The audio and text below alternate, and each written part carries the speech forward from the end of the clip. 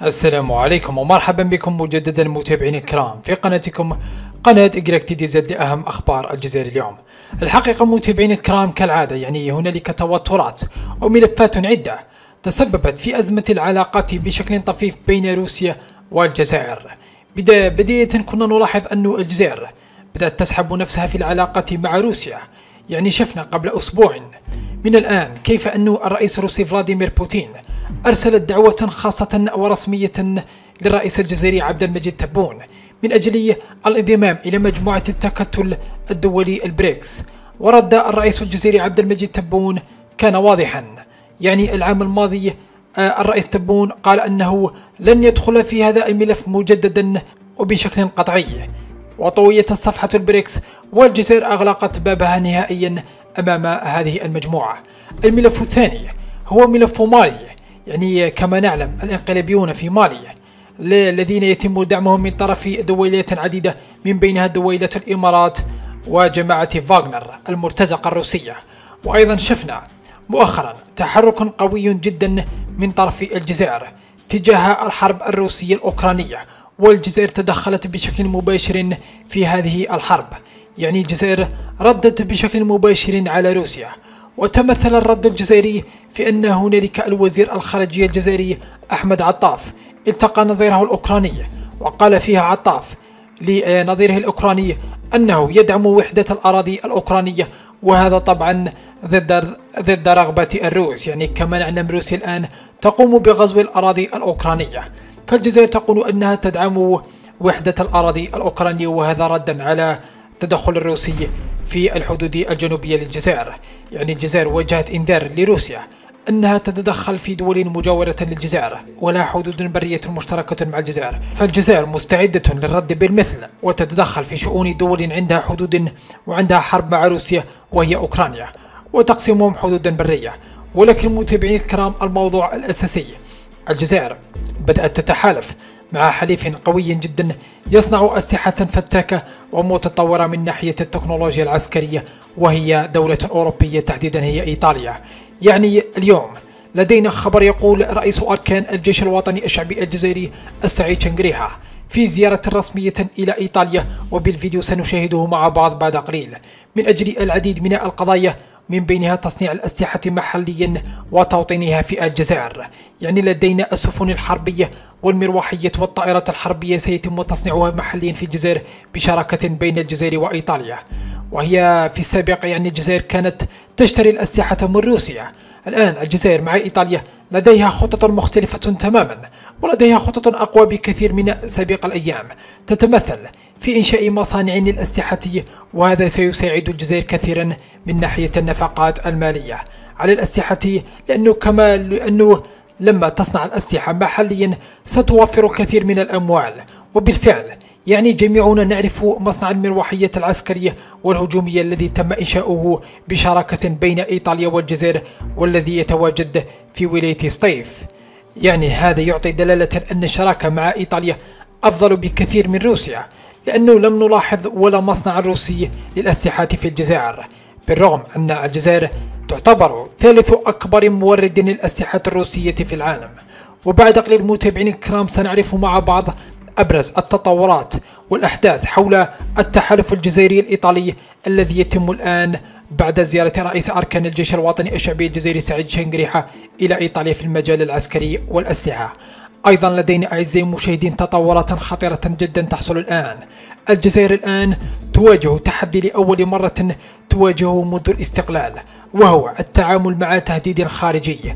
يعني لدينا تهديدات داخلية تتمثل في الخونة في الخارج مثل زيطوط وأمير ديزاد الذين يرسلون رسائلا إلى الشعب الجزائري في الداخل والذين يريدون إشعال فوضى في البلاد وتهيج الرأي العام. ولدينا أيضا من جهة أخرى تهديدات خارجية كما نلاحظ هنالك تهديدات من ليبيا والمالي. الجزائر ترسل أسلحة بشكل طارئ وبشكل كبير وترسل معدات عسكرية بالفيديو أيضا متابعين سنشاهده مع بعض. كيف أن الجزائر ترسل مروحية عسكرية من أجل دعم الأزواديين في حربهم ضد الانقلابيين في مالي ومن أجل محاربة المرتزقة فاغنر. ولدينا أيضا تطورات مهمة بعد تدخل الجيش الجزائري. القوات الأزودية تحقق تقدمات مهمة جدا على جبهة القتال وتحقق انتصارات ميدانية مهمة جدا كانت تسيطر عليها فاغنر في الأيام السابقة. وسنشاهد بالفيديو متابعين الكرام بعد قليل. أيضا لدينا شراكة اقتصادية واستراتيجية قوية بين الجزائر ودولة في أمريكا اللاتينية وتحديدا فنزويلا. كما نعلم فنزويلا تمتلك أكبر مخزون من احتياطات النفط في العالم. فالجزائر تقوي علاقتها مع هذه الدولة الاستراتيجية. وبعد قليل متابعين سنشاهد ما يقوله الخبير الاقتصادي تيري سانت بيير في صفحته الرسمية حول العلاقة بين البلدين. أيضا وفي الأخبار لدينا عمار بن جامع ممثل الجزائر في مجلس الأمن. والدبلوماسية الجزائرية تواصل التحرك وتضرب بيد من حديد في علاقة في قاعة مجلس الأمن وسنشاهد بعد قليل ما يقوله بن جامع. في الملفات الحاصل الآن في العالم والتطورات الميدانية في الشرق الأوسط وفي الأخير سنشاهد المجال الفلاحي والزراعي في الجزائر. الذي يشهد تطورا ونموا كبيرا جدا خاصة خلال السنوات القليلة الماضية. فكانت متابعين هذه أبرز النقاط والأخبار التي سنتكلم عنها بالتفصيل في يومنا هذا. قبل أن نتطرق إلى التفاصيل أدعوكم متابعين الكرام بالاشتراك بقوة في هذه القناة. فنحاول إيصال القناة ل 400 ألف مشترك في أسرع وقت ممكن ومن دون إطالة. دعونا نبدأ في التفاصيل. كما ترون أعزائي المشاهدين هذا هو الخبر. يعني الذي يتصدر المشهد في الجزائر. رئيس أركان الجيش الوطني الشعبي الجزائري سعيد شنقريحة يقوم بزيارة إلى إيطاليا بعدما إيطاليا أرسلت له دعوة رسمية من أجل حضور هذا الاجتماع. الفريق الأول سعيد شنقريحة في زيارة رسمية التي تقوده إلى إيطاليا بدعوة من نظيره الإيطالي الألميرال جوزيبي كافو دراغوني. والآن متابعين الكرام كما نعلم عندما تكون هنالك زيارة عسكرية من دولة من كبار العسكريين إلى دولة أخرى هنالك دلالات قوية جدا على عكسية يعني أقوى بكثير من الزيارات الوزراء. فهذا يعني أن الزيارة العسكرية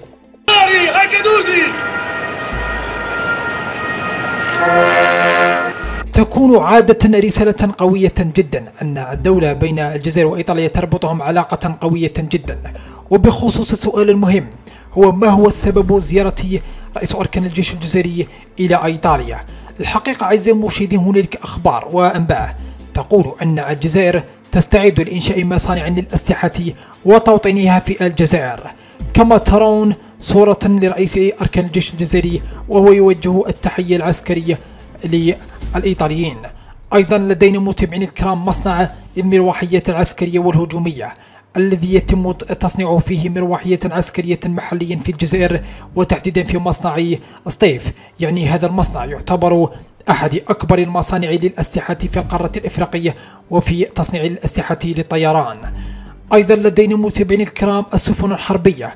كما نعلم فرقة تفريم بيرجاميني. هذه هذه الفرقة هي إيطالية والجزائر كما ترون. يعني هذه من الواضح أن الجزائر العاصمة. الجزائر تمتلك عدد كبير من هذه الفرقاطات. ويقال حسب الأخبار أن الجزائر تنوي تصنيع هذه الأسلحة محليا في الجزائر بشراكة مع إيطاليا. أيضا متابعين الكرام بخصوصية المصنع المروحيات تكلمنا في سابق الأيام وكنا كشفناكم صورا من الأقمار الصناعية لصور هذا المصنع لتصنيع المروحيات المتواجد في ولاية سطيف. كما ترون هذه هي الصورة التي هي يتم تصنيع فيها المروحيات. والمروحيات التي يتم تصنيعها هي من نوعية AW101 و AW169 و AW149 و AW139 يعني جميع هذه الأنواع من المروحيات والطرازات يتم تصنيعها محليا في الجزائر. بخصوص الشراكة أعزائي المشاهدين يقول الخبر مع التقلص الاعتمادي على روسيا ستصبح إيطاليا ثاني مورد السلاح الأوروبيين للجزائر. بلغت الزيارات بين قيادات البلدين مستوى غير مسبوق. أرى أن الشركة تتضاعف خاصة مع اقتراب انطلاق مصنع ليوناردو. تجاوزت الصفقات 22 مليون يورو تضمنت رشاشات ثقيلة وصواريخ سفن آه، والطائرات. أما في خبر آخر متابعين الكرام وفي التطورات الميدانية التي تحصل في الدولة المحاذية للجزائر وفي الجنوب الجزائري والتي تجمع حدود آه، برية مع الجزائر آه، دولة مالي. كما نلاحظ في هذا الفيديو تدخل المروحية العسكرية بشكل مباشر آه، في الحدود مع مالي. آه، أرى أن أصوات تتعالى على حدودنا مع مالي. ومرتزقة فاغنر للهجوم على الحدود مع الجزائر لإخواننا الأزواد إن جيشنا الوطني الشعبي موجود وحاضر مع الشعب في الدواوير والمناطق الحدودية تيموين. وأي هجوم سيكلف مالي والإنقلابيين والإنقلابي كويتا حياته هذه المرة وليس الأسر فقط. كما ترون المروحية الجزائر ترسل معدات عسكرية. وأيضا هذا كان طلبا من الأزوادين الذين طلبوا من الجزائر إرسال معدات عسكرية ودعم لوجستي ودعم عسكري. بخصوص هذا الدعم متابعين الكرام لدينا تطور. الأزواديين يتقدمون على أرض الميدان بعد التحركات الجزائرية مباشرة كما ترون في هذا الفيديو. بداية تموقع قوة الأزواد بسيارة التويوتا مسلحة بمضادات الطيران في المناطق مختلفة من تنزواتين. يعني كما نعلم متابعين الكرام قوات فاغنر انسحبت من المكان بعدما قامت الجزائر بإرسال تعزيزات ودعم عسكري. فهنالك تقدم كما ترون من القوة الأزوادية التي يتم دعمها من طرف الجزائر. وهذا طبعا حفاظا على الأمن القومي الجزائري. لأنه لو كانت مرتزقة فاغنر متواجدة عند الحدود الجزائرية فسيكون هذا خطرا كبيرا جدا على الجزائر لأنه ستكون هنالك جبهتين تتواجد فيها قوات فاغنر عند الحدود مع الجزائر يعني سيكونون في ليبيا وسيكونون أيضا في مالي.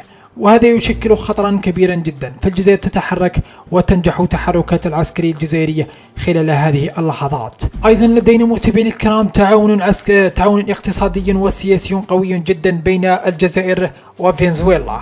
كما ترون في هذه الصور.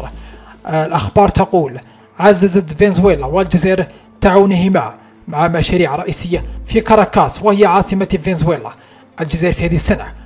وتتركز التبادلات على التجارة والطاقة والثقافة والسياحة مع إرادة لزيادة الاستثمارات الثنائية. لدينا متابعين الكرام كما نعلم كان هنالك آه، الرئيس الإيراني مسعود بيسكشان قام بزيارة إلى قطر والتقى فيها. بالوفد السعودي هنالك في الدوحة في قطر كما ترون الصورة تجمع بين الوفد الإيراني والوفد السعودي. الدوحة 24 ساعة عقب قصف إيراني لإسرائيل. الرئيس الإيراني يستقبل وزير الخارجية السعودي وتم خلال اللقاء بحث مستجدات الأوضاع التي تشهدها المنطقة والعالم. لدينا متابعين الكرام حتى تعرفوا أن الجزائر ولبنان وفلسطين مش مجرد قضية إنها تاريخ يكتب وشهد شاهد. كما ترون في هذا الفيديو. نعرف ماذا تعني الجزائر ونعرف دور الجزائر.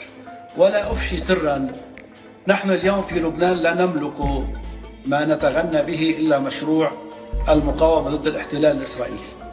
ولنا الشرف أن نقول أن بعض الرصاصات الأولى التي أطلقت على المحتل الإسرائيلي في لبنان كانت رصاصات جزائرية. لدينا متابعين الكرام مندوب الجزائر عمار بن جامع يواصل التحركات الدبلوماسية ويواصل الضغط على الولايات المتحدة الأمريكية وحلفائها. مندوب الجزائر الدائم في الأمم المتحدة عمار بن جامع خلال جلسة لمجلس الأمن حول لبنان يقول اليوم أعبر عن تضامن الجزائر التام مع الأمين العام أنطونيو غوتيريتش بعد قرار سلطات الاحتلال بوصفه شخصا غير مرحب به. يعني أنطونيو غوتيريتش الأمين العام للأمم المتحدة قام بالانتقاد بشكل لاذع للاحتلال الإسرائيلي بخصوص الجرائم التي ترتكب هناك وبخصوص الإبادة الجماعية. فكان الإسرائيلي يتهجم على أنطونيو غوتيريتش فيقوم اليوم آه، مندوب الجزائر والجزائر بالدفاع عن أنطونيو غوتيريتش ويتضامنون معه كما ستسمعون ما يقوله مندوب الجزائر في المجلس الأمن. عن تضامن الجزائر الكامل وعن إعجاب الجزائر وعن دعم الجزائر للأمين العام. بعد القرار غير المعقول الذي صدر عن سلطات الاحتلال الإسرائيلي. لدينا متابعين الكرام في المجال الفلاحي والزراعي الجزائر تواصل التحركات وإنتاج التمور. ولكن هنالك ظاهرة يجب أن نتكلم عنها. الحق لا بد أن يقال مع أنهم آه يقول صاحب الصفحة مع أنهم أبناء ولايتي ومنطقتي ولكنهم يفضلون تخزينها في غرف التبريد على بيعها بأسعار لا ترضيهم مع أن 50% من منتوج العام الفارط ما زال في غرف التبريد. إذا استمروا بهذه العقلية سيكون عاما كارثي فيما يخص بالتمور كما سترون متابعين الكرام في هذا الفيديو. السلام عليكم صباح الخير. هاي سلعة الدوسة الله يبارك. صفرة ذهب الله يبارك. بس أخويا السوق ما عطالوش أخويا هنا حاليا رانا مع الفريقو إن شاء الله يطلع السوق والناس كامل تبيع. واش تقول لهم كريم؟ ديما ديما يبقى شي مرة دوس الله كلاس والله ما يسعى في بلاصه على بالي والله على بالي سما الفريقو ياكل. الهضرة فريقو أخويا التجار قال لكم أخويا مرحبا بكم في الدوسة والهضره فريقو أخويا. لكن متابعينا الكرام هنالك انتعاش آخر في محصول آخر وفي فاكهة أخرى وهي الرمان. كما ترون تبارك الله ما شاء الله على خيرات الجزائر من فاكهة ال- الرمان. إنتاج كبير للرمان بمنطقة مسعد في الجرفة والأسعار في حدود 70 دينارا جزائريا جملة. ما شاء الله شاهدوا متابعينا الكرام. السلام عليكم. ها هو الرمان تاع مسعد سلعة مسعدة. الله يبارك. نازل السلعة الله يبارك. خير ربي نفسخ هذه شوف. الحلاوة والسكر.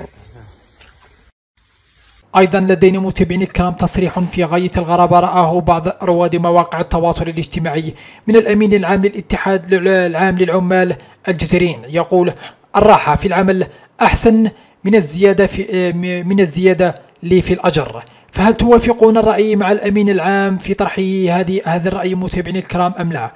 اكتبوا لي رأيكم في التعليقات حول هذا الموضوع.